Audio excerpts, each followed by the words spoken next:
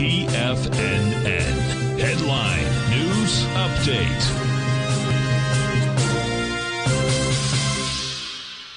Good afternoon, everybody. We reached the closing bell on Friday of a pretty wild week. We got the S&Ps. We pull back slightly into the close there. We're going to close basically flat on the session.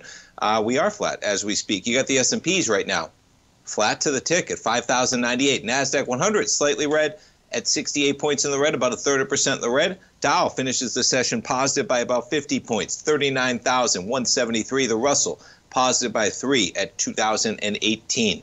Bitcoin. We were talking to our man Robert from Kansas City about Bitcoin. Bitcoin down about $1,000, 51,780. Crude pulls back as well, right?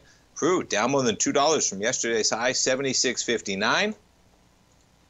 Gold catches a little bit of a bid, quite the acceleration from the lows of the early morning at 4:30 a.m. Eastern Time of 2025. You're trading right now at 2046. You're above 2050 briefly. Jump to notes and bonds. Got a little bit of higher price, lower yield. We're sitting at four and a quarter percent as we come into Friday. Next Fed meeting, March 20th.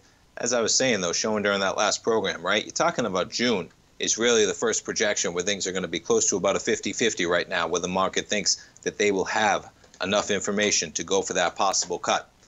We will find out. Uh, continuing that conversation on Bitcoin, because it was an interesting one. I'm sure we're thinking about it, all of us. Uh, this article just popped up on CNBC. Okay, I think I was searching for it, so maybe it find me. Now this one is dated in January.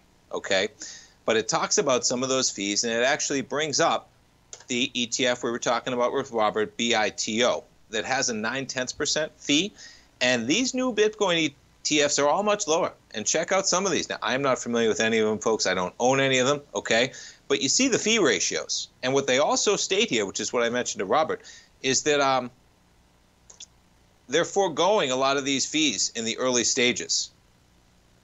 I think they had it from here before.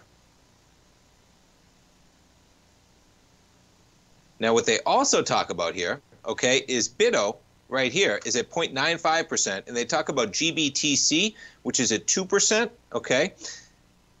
And GBTC is cutting their fee, but only to 1.5%. And here's the kicker they know that people don't want to sell because they don't want to incur the tax losses by selling GBTC and locking in their profits just to save on fees. So GBTC says, we're not going to let you out. We're going to keep it at 1.5%. Nonetheless, folks, markets almost near record territory. Thanks so much for tuning in. Have a great weekend. Have a safe weekend, folks. We'll see you back here Monday morning at 9 o'clock. Have a great one, everybody.